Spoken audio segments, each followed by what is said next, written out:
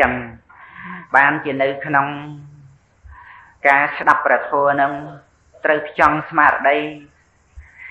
យកអត្តរសអត្តន័យមកចាត់ប្រកបវិជានឹងទេណាទាំងការសម្ដែងនឹងក៏អញ្ចឹងរឿងនឹងមិនមែនជារឿងដែលគ្រាន់តែទន្ទិញពាក្យយកមកនិយាយទេរឿងសម្ដែងធัวណាទេណា បើគ្រាន់តែទន្ទិញពាក្យយកមកនិយាយអាហ្នឹងវាស្រួលទេយើងគ្រាន់តែសូត្រថាតាមទៅ តាមពាក្យដែលចាំមកហ្នឹងថាទៅហ្នឹងមិនចាំបាច់យើងគិតយកន័យយកសេចក្តីអី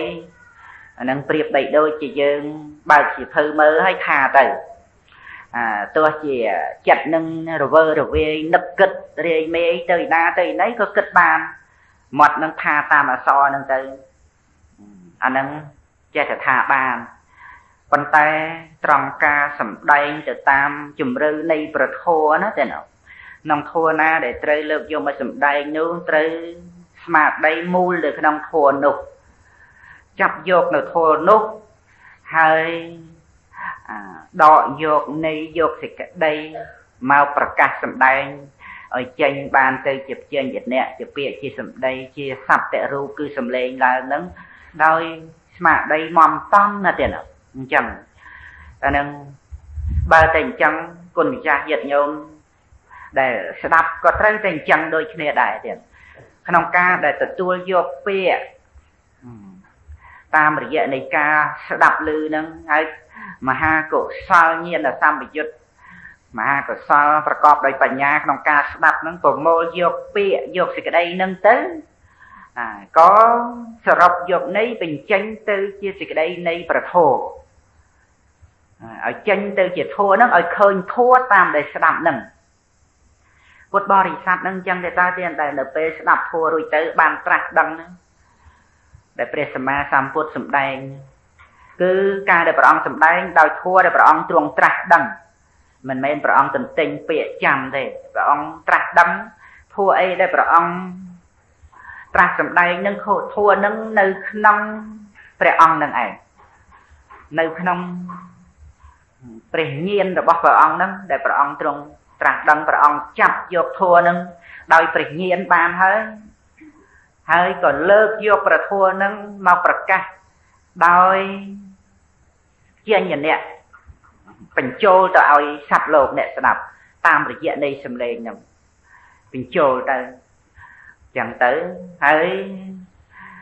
មហាកុសលរបស់ពុទ្ធបរិស័ទអ្នកស្ដាប់នឹងប្រមូលយកព្យាញ្ជនៈទាំងអស់នឹងពាក្យទាំងអស់នឹងបន្តទៅមហាកុសលមួយទៀតបាននៅបញ្ញាឃើញធัวតាមដែលព្រះអង្គទ្រង់ត្រាស់សម្ដែងនឹងចឹងទៅប្រៀបបីដូចជាព្រះអង្គចាប់យកនៅធัวនឹងបញ្ចូលទៅក្នុងសត្វលោកដូចគ្នាអញ្ចឹងណាទៀតណាដូច គ្នាអញ្ចឹងបានថាពុទ្ធបរិស័ទនឹងជាធម្មទេយាទនឹងគឺជាអ្នកទទួលនៅមរតកគឺព្រះធម៌ជាមរតកនឹងអញ្ចឹងទេតើបើមិនអញ្ចឹងទេតើធ្វើម៉េចដើម្បីអាចទទួលយកសេចក្តីនៃព្រះធម៌បានទេទទួលយកមិនបានព្រោះសេចក្តីនៃព្រះធម៌នឹងយ៉ាងណាយ៉ាងណា សេចក្តីពិតនៃធម៌ណាទេណាដែលពិតនោះយ៉ាងណាហើយព្រះសម្មាសម្ពុទ្ធប្រកាសសម្ដែងទៅ បញ្ញានឹងវាមិនអាចដើម្បីប្រមូលសរុបនៅពាក្យហ្នឹងដើម្បីឲ្យកើតទៅជាបញ្ញាបាននៅធម៌នោះឃើញនៅធម៌នោះនៅក្នុងបញ្ញាហ្នឹងវាអត់អញ្ចឹងប្រៀបបីដូចជារបស់អីមួយដែលបញ្ចូលទៅវាមិនចំវាមិនចូលណាវាខុសកន្លែងហ្នឹងអញ្ចឹងនឹងរឿងការសម្ដែងធម៌និងការស្ដាប់ប្រធម៌ហ្នឹង គឺតាំងនៅក្នុងការចម្រើនភាវនាជាសម្មាសមាធិប្រព្រឹត្តទៅនៅក្នុងព្រះធម៌ធម្មគុណនឹងអញ្ចឹងបានថាក្តីនេះ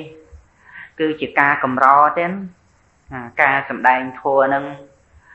ដូចជានៅក្នុងសង្យុត្តនិកាយ និទេនវៈភិក្ខុមួយអង្គត្រាទូសួរព្រះតមានឧភាថាបើពិតព្រះអង្គដ៏ចម្រើនដែលពាក្យថាធម្មកថាធម្មកថានឹងតើដូចម្ដេចនេះសម្ដែងធម៌នឹងព្រះអង្គទ្រង់ថាថាបុគ្គលឯណា ដែលបានសម្ដែងនៅព្រះធម៌នឹងប្រព្រឹត្តទៅដើម្បីនឿយណាយដើម្បីប្រសិជ្ជៈតម្រេកដើម្បីរំលត់ដើម្បីរួចផុតអំពីជារានិងមរណៈ បុគ្គលអ្នកសម្ដែងធម៌នឹងឈ្មោះថាធម្មកថាហើយព្រះអង្គទ្រង់ត្រាស់សម្ដែងបន្តទៅថាបុគ្គលឯណាបរិបត្តិនៅធម៌ដ៏សំគួរតាមធម៌ដើម្បីសេចក្តីនឿយណាយដើម្បីប្រសិជ្ជៈតម្រេកដើម្បីរំលត់ដើម្បីរួចផុតអំពីជារានិងមរណៈអើគល់នោះឈ្មោះថាជាអ្នកបរិបត្តិនៅធម៌ដ៏សំគួរដល់ធម៌ ហើយជាអ្នកបាននៅព្រះនិព្វានក្នុងបច្ចុប្បន្នទិដ្ឋធម្មៈនិព្វានបត្តោគឺដល់នៅព្រះនិព្វានក្នុងទិដ្ឋធម៌ទិដ្ឋធម៌គឺសំដៅនៅលើបញ្ចខណ្ឌដែលជាបច្ចុប្បន្នចឹងបុគ្គលដែលប្រតិបត្តិនៅធម៌ដែលសំគួរតាមធម៌ហ្នឹងគឺជាការប្រតិបត្តិដើម្បីសេចក្តីនឿយណាយដើម្បីប្រះចាតម្រេកដើម្បីក្តីរំលត់ រួចផុតអំពីជារានិងមរណៈគឺរួចផុតអំពីបញ្ចខណ្ឌហ្នឹងណាទេណាដែលមានជារានិងមរណៈហ្នឹងចឹងសេចក្តីហ្នឹងនៅក្នុងបញ្ញខណ្ឌនេះព្រះសម្មាសម្ពុទ្ធព្រះអង្គទ្រង់ត្រាស់សម្ដែងជាបន្តបន្តទៅ14បញ្ចខណ្ឌភេអាទីនវៈតោបញ្ចខណ្ឌហ្នឹងគឺជាទុកជាទីតាំងនៃ ទុកទុកផ្សេងផ្សេងច្រើនប្រការព្រោះបញ្ចខណ្ឌនឹងជាទោសនឹងយ៉ាងណាយ៉ាងណាបញ្ញានឹងក៏ត្រូវបានឃើញច្បាស់ដូចជាផ្ទះដែលបាក់បែកដែលបុគ្គលនៅក្នុងផ្ទះនោះត្រូវក្បឿងធ្លាក់ចំរបួសបែកក្បាល ហូរឈាមចឹងទៅឬក៏ត្រូវគ្រឿងសម្ភារៈផ្សេងផ្សេងបាក់ធ្លាក់មកត្រូវរហូតដល់ទៅផ្ទះនោះឯងបាក់គ្របសង្កត់នឹងទៅទៀតអានេះគឺជាទោសរបស់ផ្ទះចាស់ជារាក្រំគ្រានឹងយ៉ាងណាបញ្ញខណ្ឌនេះក៏ប្រៀបបីដូចជាផ្ទះនៃចាស់ជារាក្រំគ្រានឹងចឹងដែរ ជារបស់ដែលមានទោសច្រើនណាស់ទៀតនាំមកនៅសេចក្តីទុក្ខលំបាកសពគ្រប់ទាំងអស់តាមរយៈរូបតាមរយៈវេទនាដែលសោយអារម្មណ៍តាមរយៈនៃការចាំអារម្មណ៍តាមរយៈនៃសង្ខារខណ្ឌនិងវិញ្ញាណខណ្ឌបុគ្គលដែលអាស្រ័យនៅក្នុងបញ្ញខណ្ឌហ្នឹងក៏រមែងបានដល់នៅសេចក្តីទុក្ខដូច្នេះកាលដែលមានបញ្ញាឃើញទុក្ខទោស ក្នុងបញ្ញខណ្ឌហើយក៏ត្រូវតែដើរចេញចាកចោលនៅបញ្ញខណ្ឌនឹងចឹងដែរមិនមែនជារឿងដែលចិត្តតែព្រមនៅក្នុងបញ្ញខណ្ឌដែលប្រកបទៅដោយទោសនោះឡើយបញ្ញខណ្ឌនឹងទោសច្រើនទៀតដូចជាអសេរពឹសមិនគួរដើម្បីនឹងបបោះអែលចាប់លេងអសេរពឹសពោះដែលមានពឹសនឹងទេព្រោះថាពោះដែលមានពឹសនឹងជាទោស ប្រកបទៅដោយទោសឬថាបញ្ញខណ្ឌនឹងប្រៀបបីដូចជាឆ្នាំពឹសមិនកបីគួរដល់ការបរិភោគព្រោះថាបើបរិភោគនឹងដល់នៅសេចក្តីស្លាប់ឬទុក្ខវេទនាស្ទើរតែនឹងស្លាប់បញ្ញខណ្ឌក៏អញ្ចឹងក៏ត្រូវតែរត់គេចចេញអំពីបញ្ញខណ្ឌនឹងទៅតាមផ្លូវដ៏ប្រសើរទៀតហើយផ្លូវដ៏ប្រសើរហ្នឹងមិនក៏គឺអ្វី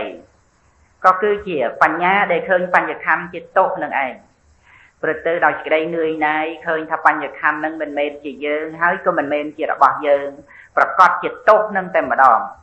ការដែលបកុលមិនអាល័យព្រឹកទៅដើម្បីសេចក្តីនឿយណាយអានឹងជាផ្លូវដើម្បីដើរចេញមានទោសច្រើនប្រការបញ្ញខណ្ឌនឹងមិនអាចដើម្បីនឹងពួនសំងំនៅទេ គឺជាខ្មាំងទេ ជាខ្មាំងជាសត្រូវដែលនាំមកនៅភេយន្តរាយគឺអន្តរាយភ័យដោយប្រការផ្សេងផ្សេងនៅក្នុងបញ្ញខណ្ឌនឹងទុកទោសគ្រោះថ្នាក់សពថ្ងៃក៏អាស្រ័យបញ្ញខណ្ឌបើមិនមានបញ្ញខណ្ឌហើយនិរោធោគឺជាការរំលត់នៅបញ្ញខណ្ឌអាណាទីនវាំងគឺថាអត់មានទោស និព្វាននន្តិគឺព្រះនិព្វានហ្នឹងអាណាទីនវាំងអត់មានអីដែលជាទោសដោយរូបអត់មានអីជាទោសដោយការសោយអារម្មណ៍ដោយការចាំហើយដោយសង្ខារខណ្ឌមានផស្សៈជាដើម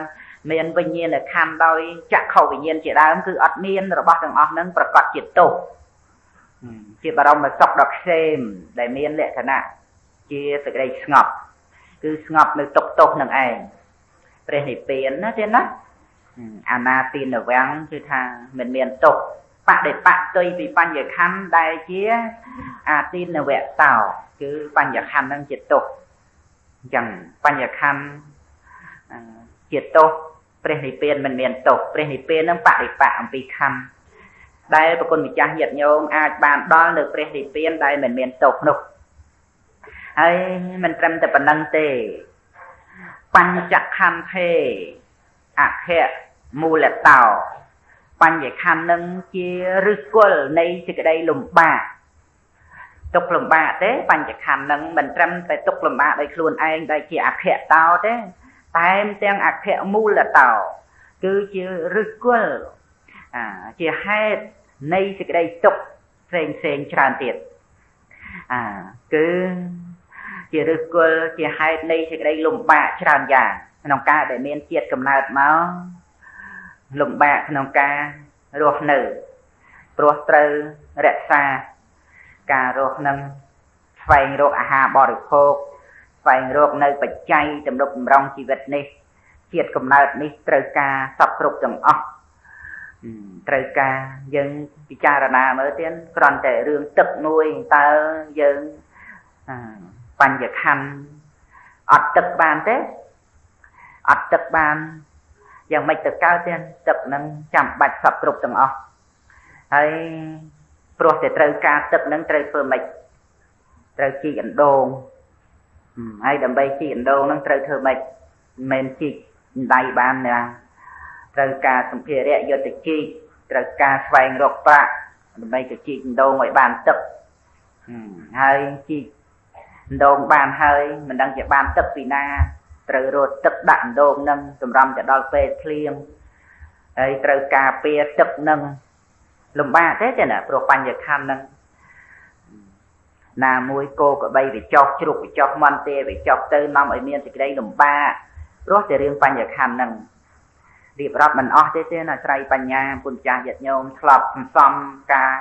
ធុញត្រន់នឿយណាយទាំងបញ្ញខណ្ឌមករឿយរឿយជ្រាបស្រាប់ហើយ ចឹងបានទឹកហើយត្រូវការគ្រឿងប្រដាប់យកទៅដងទឹកយកទៅរែកទឹកហើយត្រូវរក្សាការពារឡាំងកថាំងដងរែកនឹងទៅទៀតក្រែងនោះគេខ្ចីគេខ្ចីហើយប្រយ័ត្នប្រយែងគេយកមកឲ្យឲ្យនៅក្រែងនោះគេមិនបានឲ្យវាភ្លេចទៅវាបាត់ទៅចឹងវាលំបាកចឹងជួនកាលថាបិទស្បៀតពេកទៅគេខ្ចីមិនឲ្យក៏ឆ្លោះតោះតេងគ្នាអអន់ចិត្តទៅបង្កឲ្យមានទៅជាសេចក្តីចំណែនឈ្នានេះ ជាបាតគ្នាអញ្ចឹងទៅទៀតទៅលំបាកទេទេណានឹងត្រឹមតែមួយរឿងទឹកអញ្ចឹងហើយដើម្បីបានទឹកនឹងមកឥឡូវបានហើយយកមកដាំបាយនិយាយបន្តិចទៅរឿងទឹកនឹងយកមកដាំបាយដាំបាយអត់ទឹកបានទេទេណាអត់ទេដាំបាយយកទឹកដាំអញ្ចឹងទៅហើយដាំបាយនឹងត្រូវប្រកាត់ភ្លើងទៀតហ៎ ត្រូវរកភ្លើងដាំបាយទៀតហ៎ហើយប្រកាត់ភ្លើងនឹងវាមានវាមានអីណាបើទៅរករកភ្លើងរកដាច់ខិតរកជើគុកហើយត្រូវរក្សាទុកដាក់ដាច់ខិតជើគុកនឹងគ្រាន់តែគ្រឿងបន្តិចបន្តួចតូចតាចហ្នឹងក៏ត្រូវតែរវល់លំបាកដើម្បីថែទាំរក្សា បាត់ទៅច្រឡំដៃទៅខឹងទៅ នឹងទុកឯណាអីឯណាដល់មែនទេនៅដែលខិតកាន់ដៃនឹងឯដើររយវីខិតនៅណាទុកលំបាកណាស់ទេហើយដាំបាយបានហើយឆ្លងបានអីធ្វើមកហូបហើយរកអីផ្លែផ្សំសពគ្រប់ចឹងតម្រាំតែបរិភោគឆ្អែតនៅពេលហ្នឹងទៅឃ្លានវិញតដែរអាឃ្លានវិញហើយការដែលបានរស់ដោយហាអាហារហ្នឹងរស់ហ្នឹងក៏ ព្រោះអាស្រ័យការរស់ហ្នឹងក៏ត្រួតត្រងនៅសេចក្តីទុកច្រើនទៀតព្រោះតែការរស់ហ្នឹងបានថាជីវិតដែលរស់នឹងបើកុំតែត្រូវអាស្រ័យការប្រព្រឹត្តព្រះមច្ចរិយធម៌ក៏មិនដឹងជាការរស់នឹងបានប្រយោជន៍អីណាទេណាបានព្រះអង្គព្រះសម្មាសម្ពុទ្ធទ្រង់ត្រាស់សម្ដែងរឿយរឿយថាអាការរស់នៅនឹងអស់រួយនៃឆ្នាំប៉ុន្តែជាអ្នកមិនមានសិលមិនមានបញ្ញាមិនមានការតម្កល់ចិត្តដោយប្រពៃ មិនប្រសើរទេបុគ្គលណារស់នៅតែមួយថ្ងៃឬមួយផ្លេតជាអ្នកមានសិលមានបញ្ញា មានការតម្កល់ចិត្តដោយប្រពៃគឺប្រសើរជាងនឹងដោយសេចក្តីថាវាអត់ប្រយោជន៍អត់ខ្លឹមសារទាំងការដែលរស់នៅនឹងចឹងវាតល់តែអាស្រ័យផ្លូវបដិបទាអាស្រ័យបញ្ញាចេញអំពីជីវិតនឹងចេញចាបញ្ញខណ្ឌនឹងទៅការរស់នៅបន្តិចបន្តួចហ្នឹងប្រសើរ ប្រសើរហ្នឹងគឺវាមិនមែនប្រសើរត្រង់ជីវិតហ្នឹងទេគឺប្រសើរត្រង់ដែលថា មានផ្លូវមានមគ្គមានបដិបទាដើម្បីឲ្យរួចពីជីវិតហ្នឹងអាហ្នឹងការរស់ហ្នឹងក៏សន្មត់ថាជាការប្រសើរអញ្ចឹងទៅដូច្នេះរឿងជីវិតនឹងត្រូវការច្រើនណាស់ទៀតត្រូវការទឹកត្រូវការភ្លើងត្រូវការខ្យល់ត្រូវការដីប៉ុន្តែរបស់ទាំងអស់ហ្នឹងមិនមែនបានសេចក្តីថាមានគុណទេណា កុំយល់ច្រឡំថាដីទឹកភ្លើងខ្យល់នឹងមានគុណពីព្រោះកាលណាបើយើងយល់ថាដីទឹកភ្លើងខ្យល់មានគុណឈ្មោះថាយើងនឹងឯងលើកទំកំតម្កើងនៅជីវិតនេះឲ្យតម្លៃនៅជីវិតនេះហើយទាំងដែលជីវិតនឹងជាទុកបញ្ចខណ្ឌនឹងជាទុកជាទោសរឿងអីដែលបច្ច័យនាំឲ្យមានបញ្ញខណ្ឌនឹងទៅជាមានគុណទេបច្ច័យដែលនាំឲ្យមានជីវិតរស់នៅបច្ច័យដែលជាអាហាររបស់បញ្ញខណ្ឌនឹង វាមិនដែលទៅជាគុណទៅកើតទេ គឺជាទុកក្នុងសង្សារវដ្តប៉ុន្តែដែលជាគុណគឺដោយគុណធម៌ដោយកុសលធម៌ដែលជាផ្លូវចម្លងយើងចម្លងគុណម្ចាស់យត្តញោមនឹងចេញអំពីបញ្ញខណ្ឌនឹងទៅធម៌នឹងជាគុណដែលជាព្រះធម្មគុណនោះព្រះធម៌ដែលមានគុណលើសត្វលោកហ្នឹងគឺព្រះធម៌ហ្នឹងនាំសត្វលោកចេញពីបញ្ញខណ្ឌបានមិនមែនដីទឹកភ្លើងខ្យល់ហ្នឹងនាំ សត្វលោកចេញអំពីសេចក្តីទុកបានទេប៉ុន្តែមកអំពីសត្វលោកគ្រប់គ្រងបញ្ញខណ្ឌគ្រប់គ្រងបញ្ញខណ្ឌឲ្យតម្លៃនៃការរស់ហ្នឹងក៏ថាដីទឹកភ្លើងខ្យល់ហ្នឹងមានគុណទៅបើកុំតែមានដីទឹកភ្លើងខ្យល់ខ្ញុំបានអីរស់ខ្ញុំបានអីធ្វើស្រែចម្ការដំណាំដាំដោយដំណាំដាំដុះនឹងសពគ្រប់អញ្ចឹងអាហើយ រឿងហ្នឹងវានាំឲ្យកើតទៅជាការយល់ផ្សេងផ្សេងទៀតមិច្ឆាទិដ្ឋិវាកើតជាមួយលោភៈណាទៀតណាព្រោះតែចាប់ចម្ពាក់នឹងការរស់ចាប់ចម្ពាក់នឹងដីទឹកភ្លើងខ្យល់ហ្នឹងក៏នាំឲ្យកើតទៅជាការយល់ខុសផ្សេងផ្សេងរឿងហ្នឹងវាទៅអញ្ចឹងដូច្នេះកាលណាបើមានការយល់ត្រូវហើយក៏ជាការកំចាត់បងនៅការយល់ខុសច្រើនប្រការសពបែបសពយ៉ាងគួរទៅតាមផ្លូវត្រូវណាទេណា ចឹងបញ្ញខណ្ឌនឹងជារបស់លំបាកហើយជាឫសគល់នៃសេចក្តីលំបាកទៀតលំបាកសពគ្រប់ទៀតចឹងហើយរៀបរាប់ក៏ច្រើនណាស់មកហើយពីសេចក្តីទុកលំបាកទំបីសេចក្តីសប្បាយរីករាយរបស់សត្វលោកនេះក៏ជាសេចក្តីលំបាកទៀតពីព្រោះលំបាកក្នុងការស្វែងរកសេចក្តីសុខធ្វើឲ្យសត្វលោកយើងនឹងលំបាកក្នុងការស្វែងរកក្តីសប្បាយរីករាយណា ចឹងយើងមិនគួរយល់ច្រឡំទៅស្វែងរកសេចក្តីសប្បាយរីករាយនឹងទេទេពិតមែនតែយើងចង់បានសុខចង់រួចពីទុក្ខហើយតែត្រូវយើងយល់ថារឿងនេះមកពីវាមានបញ្ញខណ្ឌជាទុក្ខទៅយើងនឹងចង់រត់ចេញពីទុក្ខហ្នឹងហើយទៅស្វែងរកសេចក្តីសុខសប្បាយទាំងដែលសេចក្តីសុខសប្បាយនឹងឯងក៏គឺជាខណ្ឌណាទាំងជាអានិសង្សរបស់ខណ្ឌបើសិនជាអ្នកណាមួយ ដែលជាសត្រូវរបស់ប្រគុណម្ចាស់ញាតិញោមណាចឹងណាសម្រាប់មេដាបេដារបស់ប្រគុណម្ចាស់ញាតិញោមហើយចាប់ប្រគុណម្ចាស់ញាតិញោមធ្វើទរណកម្មវាយឲ្យបាក់ដៃបាក់ជើងខ្វេះក្របភ្នែកឲ្យពិការមហាទរណកម្មឈឺចុកចាប់ចងយកទៅដុតហើយគ្រាន់តែមិនស្លាប់តែប៉ុណ្ណឹងចឹងហើយធ្វើទរណកម្មអស់ការជាអង្វែងចឹងមក ហើយស្រាប់តែសត្រូវនឹងអ្នកដែលធ្វើទរណកម្មនឹងបានហុចឲ្យនំមួយ សម្រាប់ឲ្យគុណម្ចាស់ញាតិញោមនឹងនៅរស់សម្រាប់គេធ្វើទរណកម្មនឹងបន្តទៅទៀតព្រោះគេមិនចង់ឲ្យឆាប់ស្លាប់ទេឆាប់ស្លាប់ទៅគេមិនបានវាយឥឡូវគេឲ្យនំមួយសម្រាប់ឲ្យគុណចាស់ញាតិញោមនៅរស់គុណចាស់ញាតិញោមដឹងគុណគេដែរទៀតដឹងគុណសត្រូវដែលគេឲ្យនំមួយនឹងដែរ អើយគេល្អណាស់ណោះគេឲ្យនំអញដឹងគុណគេចឹងដែរមិនក៏បីដឹងគុណសត្រូវរបៀបហ្នឹងទេពីព្រោះការដែលគេឲ្យនំហ្នឹងក៏គេមិនមែនឲ្យដោយចិត្តល្អឯណាទេគេឲ្យនឹងដើម្បីប្រោះឲ្យយើងនៅរស់សម្រាប់ឲ្យគេវាយទៀតទទួលនៅទរណកម្មដោយប្រការសពគ្រប់អញ្ចឹងយ៉ាងណាមិញណាទេណាបញ្ញខណ្ឌនេះធ្វើទរណកម្មយើងក្នុងសង្សារវត្តនេះលំបាកយ៉ាងណាខ្លះ ទរណកម្មរបស់បញ្ញខណ្ឌនេះជាមហាទរណកម្មទៀតមិនមែនតិចតួចទេកុំមកថាយើងខ្លាចបិសាចខ្លាចខ្មោចនឹងខ្លាចណាស់ឬថាខ្លាចឆ្លើងខ្លាចចិញ្ចក់ខ្លាចតកែនឹងខ្លាចណាស់ខ្លាចបញ្ញខណ្ឌនឹងណាខ្លាចមែនទែនទៅទៀតប៉ុន្តែអាស្រ័យបញ្ញាទៀតការខ្លាចនេះមិនមែនជារឿងខ្លាចដោយទោសៈខ្លាចដោយភ័យណាគឺតើតែមានបញ្ញាទៅចេះខ្លាចបញ្ញខណ្ឌ ហើយដល់តែឃើញទោសនៃបញ្ញខណ្ឌដែលគួរឲ្យខ្លាចអញ្ចឹងដែលជាសត្រូវបៀតបៀនអញ្ចឹងគ្រាន់តែអានិសង្ឃរបស់បញ្ញខណ្ឌដែលនាំមកនៅសុខសោមនស្សអាស្រ័យរូបសុខសោមនស្សអាស្រ័យវេទនាសុខសោមនស្សអាស្រ័យសញ្ញាសុខសោមនស្សអាស្រ័យសង្ខារសុខសោមនស្សអាស្រ័យវិញ្ញាណដែលមានជាប្រកដីហ្នឹងហើយស្រាប់តែយើងដឹងគុណបញ្ញខណ្ឌត្រេកអរនឹងការរស់សំបើអីដែលយើងត្រូវទៅត្រេកអរនឹងរបស់នឹងទៀត ព្រោះរឿងរបស់ទាំងអស់នឹងសម្រាប់ឲ្យយើងនឹងឯងបន្តការកើតទៀតណាទៀតណាបន្តភពជាតិកំណើតទទួលនៅសេចក្តីទុកទោសទរណកម្មបន្តទៅទៀតអស់កាលជាអង្វែងណាដោយសារអីដោយសារតែសុខសង្ឃមនោដែលជាអានិសង្ឃរបស់ខណ្ឌនឹងវាជារឿងខណ្ឌណាទៀតណាវានៅក្នុងដៃរបស់សត្រូវណារបស់នឹងវាមិនមែនជារបស់ផុតពីដៃសត្រូវទេសុខសោមនស្សនឹង វាអាស្រ័យរូបសុខសោមនស្សអាស្រ័យវេទនាអាស្រ័យសញ្ញាបានវាមានសុខសោមនស្សនឹងអាស្រ័យសង្ខារអាស្រ័យវិញ្ញាណបានវាមានសុខសោមនស្សនឹង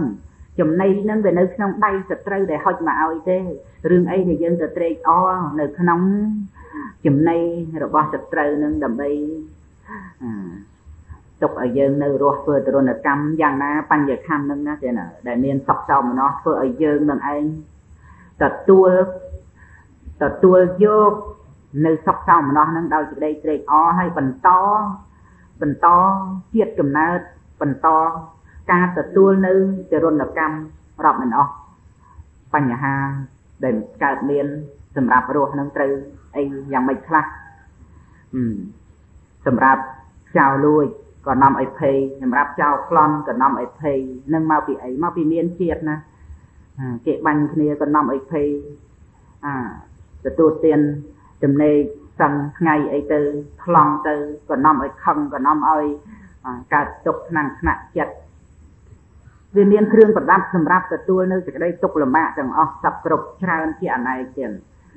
ទាំងគ្រឿងប្រដាប់នឹងមិនមែនជាគ្រឿងមាសជាគ្រឿងអកែវមณีអីណាតាំងពីសក់រោមកញ្ចក់ថ្មិញស្បែកគ្រឿងក្នុងទាំងអស់ដែលបាន កើតឡើងសម្រាប់ឲ្យយើងអាស្រ័យនៅក្នុងខណ្ឌនឹងរបស់ទាំងអស់នឹងសិតតែរបស់រោគរបស់ដ៏លាមក របស់ស្អុយរបស់មិនស្អាត របស់ដែលជាសម្បុកនៃរោគដែលជាលទ្ធផលនៃជាតិដែលប្រគល់ឲ្យដែលជាតិនឹងកើតមកពីភពនឹងមិនលឹងហើយយើងនៅតែព្រមទទួលដឹងគុណសង្សារវត្តនេះកិលេសនេះ កម្មនឹងដែលបានបង្កើតអត្តភាពមកអញ្ចឹងអញ្ចឹងមិនបង្កើតអត្តភាពមាសកែវមณีអីឲ្យយើងឯណាមិនមែនជារបស់ដែលបានរួចផុតអំពីជំងឺរោគគេណាណែឯងយកទៅលទ្ធផលដែលណែឯងបរិភោគនៅចំណីរបស់យើងយកទៅយកអត្តភាពដែលជាសម្បុកនៃរោគហ្នឹងទៅហើយនៅជាមួយរោគហ្នឹងទៅនៅជាមួយរោគហ្នឹងទៅហើយ ដល់យើងនៅជាមួយរោគហ្នឹងទៅណាព្រោះតែយើងទទួលយកនៅអត្តភាពដែលកិលេសមាហ្នឹងណាទេណាដែលខណ្ឌមាហ្នឹងដែលមជ្ឈមាហ្នឹងដែលប្រគល់ឲ្យនៅអត្តភាពថ្មីដល់យើងហ្នឹងរវល់តែឲ្យយើងរក្សាខ្លួនឯងហ្នឹងរវល់រក្សានឹងតិចទៅឈឺនេះតិចទៅឈឺនោះប៉ុណ្ណឹងហើយនៅតែដឹងថាល្អណាស់ណោះគេបានឲ្យយើងកើតមានជីវិតរស់នៅក្នុងកំណើតថ្មីចឹង ចឹងដូចជាសត្រូវចឹងសត្រូវរបស់យើងដែលធ្វើនៅអំពើមិនជាប្រយោជន៍ឲ្យយើងណាទេណាវាយធ្វើទរណកម្មយើងសັບគ្រប់ហើយបញ្ជូនយើងឲ្យទៅនៅក្នុងផ្ទះលិមួកផ្ទះដែលគេបន្តបងនៅលិមួកមានថ្មីមានចាស់សពគ្រប់ទាំងអស់ទាំងផ្ទះនោះក៏កំពុកត្រុតត្រោមយ៉ាងឲ្យយើងទៅនៅក្នុងនឹងព្រោះសត្រូវដែលមិនប្រាថ្នាប្រយោជន៍ឲ្យយើងណា ហើយដល់ប៉ុណ្ណឹងហើយយើងនៅត្រេកអរនឹងចំណីដែលគេឲ្យយើងបរិភោគតាមពិតមកពីយើងឃ្លានទេទៀតហើយដែលយើងត្រេកអរចំណីវាមិនល្អអីទេសត្រូវដែលប្រាថ្នានៅអំពើមិនជាប្រយោជន៍នោះមិនមែនជារបស់ដែលមានឲ្យជារសឈ្ងុយឆ្ងាញ់អីណាទេ របស់ស្រស់ក៏ក្រក់របស់អាកន្តិចកន្ទីរបស់សំណល់របស់កំពេចកំពុកប៉ុន្តែដោយសារយើងឃ្លានទៀត ក៏ឆ្ងាញ់នៅចំណីដែលសត្រូវគឺបញ្ញខណ្ឌនឹងបកលមកឲ្យគឺសពសោមនោះនឹងអញ្ចឹងទៅទុកលំបាកខ្លាំងយ៉ាប់ខ្លាំងដល់តែបានទទួលនៅចំណីបានស្រួលបន្តិចមកបានផុកបន្តិចមកក៏វាឆ្ងាញ់បាត់ហើយមានចាំបាច់អីទៅច្រើនដល់តែអញ្ចឹងវាដឹងគុណដឹងគុណសត្រូវរបស់ខ្លួនឯង បញ្ញខណ្ឌជាសត្រូវទាំងបញ្ញខណ្ឌជាខ្មាំងទាំងបញ្ញខណ្ឌជាឫសគល់នៃសេចក្តីលំបាកធ្វើទរណកម្មយើងបណ្ណាទៅទាំងហើយយើងគ្រាន់តែចំណៃបន្តិចបន្តួចដែលខ្មាំងសត្រូវនឹងហុចឲ្យយើងត្រេកអររីករាយឆ្ងាញ់នៅក្នុងចំណីនឹងអញ្ចឹងបានជាមិនអាចដើម្បីកិច្ចរួចអំពីសត្រូវនឹងអញ្ចឹងយើងពិចារណាមើលទាំងអត្តភាពយើងសប្ថ្ងៃនេះ ដែលបានមកគ្រប់គ្នានឹងគឺបានភារៈមកទេទៀតបាននិយាយចំទៅកុំបានគឺល្អណាស់ទៀតបានមកធ្វើអីសិតតែរបស់ឈឺតាំងពីកើតមកឈឺបានហើយបានរបស់អញ្ចឹងមកយើងគួរត្រេកអរនឹងទទួលទេហើយទាំងដែលព្រះសទ្ធំ